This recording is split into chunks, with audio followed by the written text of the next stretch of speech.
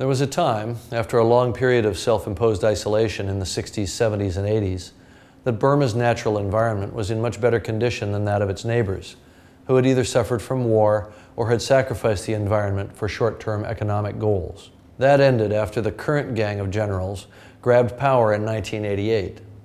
Short of cash, they immediately made deals to sell off the nation's vast forests and fishery resources to foreigners, using the money literally to buy more ammunition to use against their own people.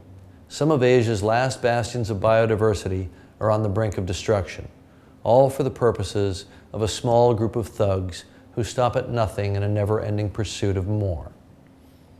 Cyclone Nargis, which struck in the early hours of May 3rd, killed 78,000 people, with another 56,000 missing.